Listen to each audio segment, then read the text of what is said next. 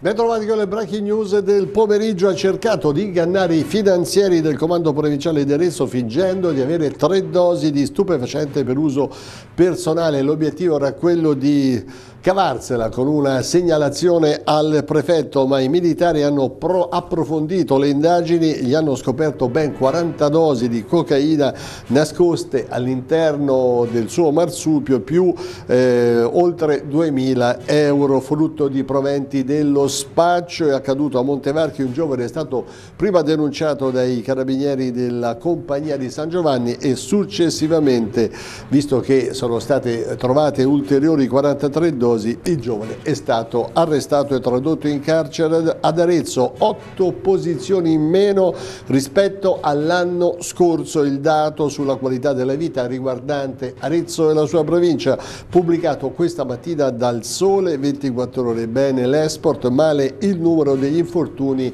sul lavoro. E infine cerimonia semplice ma significativa questa mattina nel piccolo parco che da oggi sarà dedicato alla memoria di Guido Guidotti Mori, l'ex podestà prima, prefetto poi aretino che si ribellò alle leggi razziali del 1938. E tutto con le breaking del pomeriggio, appuntamento alle prossime edizioni.